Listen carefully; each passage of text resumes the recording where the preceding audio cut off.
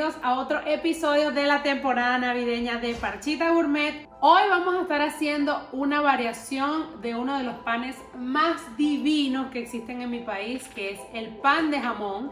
Hoy vamos a hacer unos roles de pan de jamón con todo.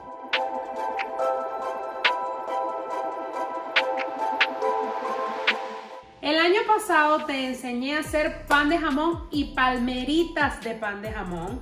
Eh, si tú quisieras ver ese video, métete en este link que te estoy colocando aquí arriba. Eh, fue una receta bien bonita, bien chévere. A mis panes de jamón, a mí me encanta ponerles queso crema.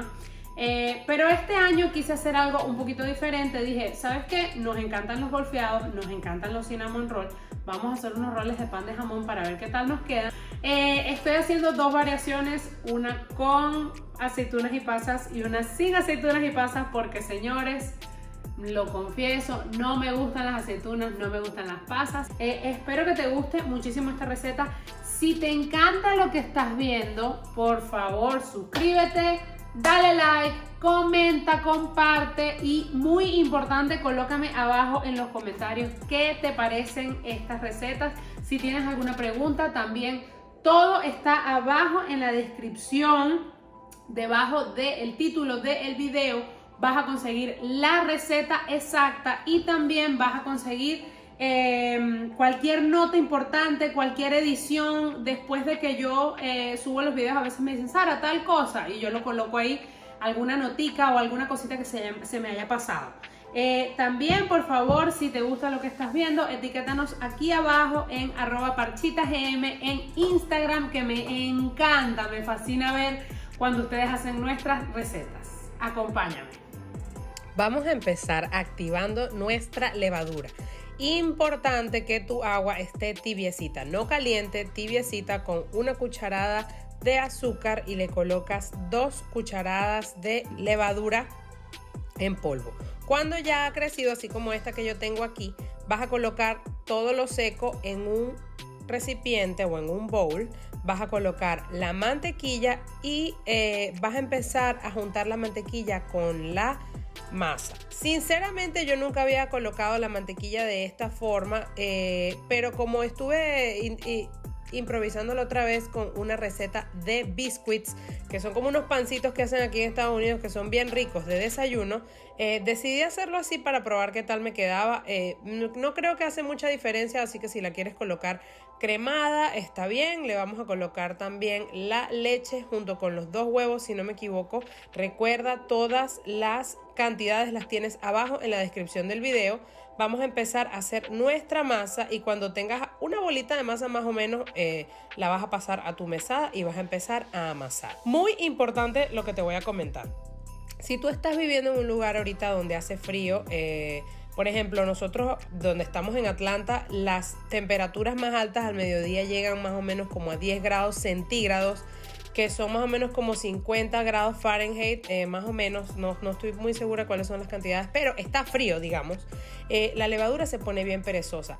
En todas las recetas que yo tengo de pan en el canal, siempre hay alguien que me pregunta, me dicen, ay, este, la masa la hice, pero no me creció. Eh, recuerda siempre que la masa de pan es muy dependiente de donde tú estés. Entonces, tienes que tener en cuenta que los lugares húmedos y tibios hacen que la masa crezca mucho más rápido. Entonces, cuando tú empiezas a amasar esta masa, te vas a dar cuenta que ya va a estar un poquito pegajosita. Tú agrega un poquito de, harina. Si se te pasa la mano de harina, puedes echarlo un poquito a un lado para que eh, no te quede tan seca tampoco. Aunque al final yo terminé utilizando toda esa eh, harina que le coloqué.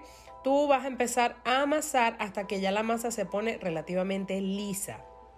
Eh, importante comentarte que yo la dejé crecer aproximadamente por tres horas y media porque sentí que no, estaba creciendo lo suficiente.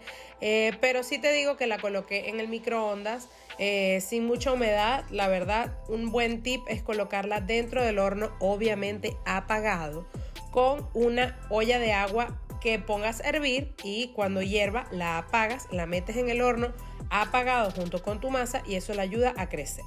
Vamos a doblarla en sí misma, así como tú estás viendo aquí, vamos a hacer un bollito, así como una bolita, así como esta que yo estoy haciendo ahorita.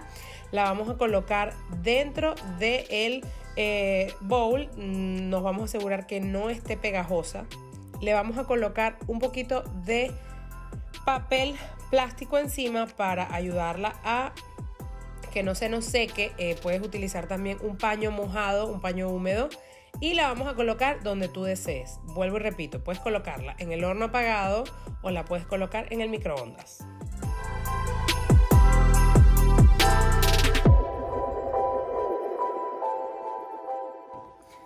Muy importante que en el episodio de Acción de Gracias no les comenté, eh, hemos pasado por dos cocinas en este país, en este país. En este país hemos pasado por muchas cocinas, que se los digo yo, pero no, me equivoqué. Eh, en este año, año del canal hemos pasado por tres cocinas. Esta ya es la cocina final, gracias a Dios, es mi cocina nueva de mi casa. Eh, eh, me encanta compartirla con ustedes y quiero que sepan que este va a ser el set del canal finalmente. Ok, aquí tenemos los ingredientes que vamos a estar utilizando para nuestros rollos de pan de jamón. Tengo la masa que ya creció, ya la tuve eh, creciendo por dos horas y media, aunque en realidad porque está haciendo frío hoy, dejándola crecer, tuve que dejarla crecer más o menos como por tres horas y media. Eh, tengo aceitunas y pasas, muy en contra de mis principios porque a mí no me gusta, sin embargo respeto mi herencia de pan de jamón y lo voy a utilizar. Tengo Jamón ahumado, importantísimo, tiene que ser ahumado, si no, no sabe a pan de jamón igual. Tengo tocineta y tengo prosciutto también que vamos a estar utilizando para estos rollos de canela junto con un poquito de queso crema. Cuidado con eso. Ok, vamos a empezar a estirar nuestra masa con mucha paciencia. De esta masa a mí siempre me salen dos panes de jamón de tamaño mediano.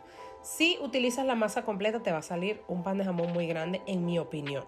Entonces, vamos a hacer primero el pan de jamón eh, con las aceitunas y las pasas de la manera más tradicional.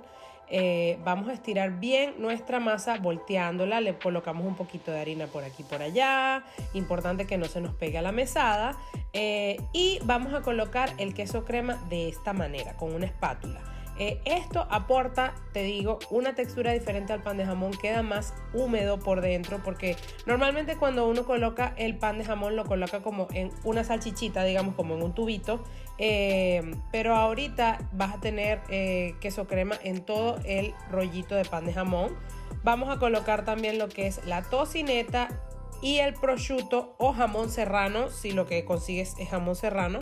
Vamos a colocar también las pasas, las aceitunas y ahora vamos a cerrar nuestro pan de jamón. Si lo deseas para eh, lo que es el cierre del pancito, puedes colocarle agua para que se pegue la masa. Vamos a picarlo en primero la mitad, luego la mitad de la mitad y luego cada uno de esos pedazos en tres pedazos para que nos salgan 12 rollitos. Ahora, pues vamos a hacer lo que es mi versión, la que me gusta a mí, que es sin aceitunas y pasas, por favor no me crucifiquen, de verdad. O sea, yo les digo de verdad que no me gustan, pues ¿cómo hacemos? No, puedo hacer más nada. Eh, luego eh, vamos a hacer el mismo procedimiento, lo vamos a picar en 12 partes y lo vamos a colocar a reposar un rato. Puedes dejarlos crecer por aproximadamente una media hora, hora. obviamente, mientras más húmedo y mientras más tibio esté tu ambiente, pues mejor lo vamos a colocar en un horno a 375 grados Fahrenheit eh, y los vamos a dejar ahí más o menos como por unos 20 minutos.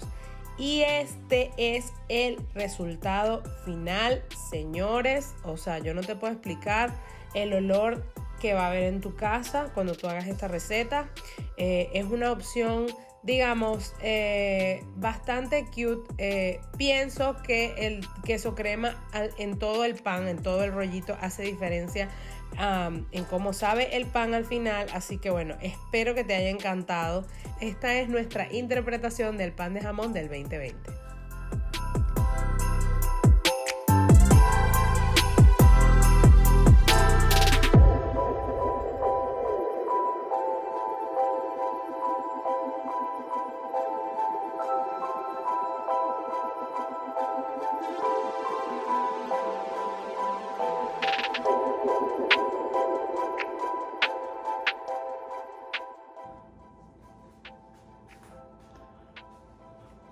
Bueno, aquí te estoy dando una forma diferente de hacer un pan de jamón. No es eh, reinventar la rueda, como quien dice, pero eh, me parece una opción bonita eh, en el momento que vayas a hacer tu cena navideña o tu cena de año nuevo.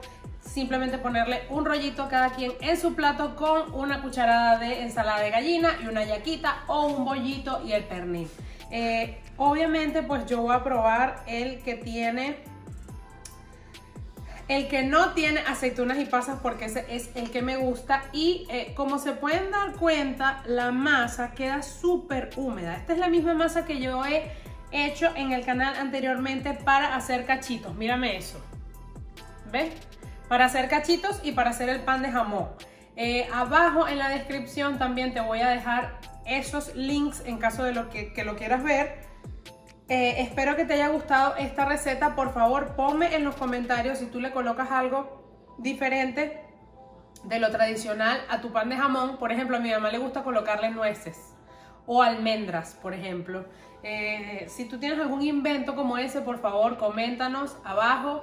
Si te encantan estas recetas navideñas, por favor, suscríbete, dale like, comenta, comparte y etiquétanos aquí abajo en arroba que me encanta ver cuando ustedes hacen nuestras recetas. Eva, yo no he probado esto. Mm. Esta masa cuando tú la estás cocinando en el horno perfuma toda tu casa. Es increíble el olor que sale de la cocina cuando uno está haciendo esta receta. Así que bueno, estos servidores seguimos por aquí cocinando cosas navideñas para ustedes. Como que.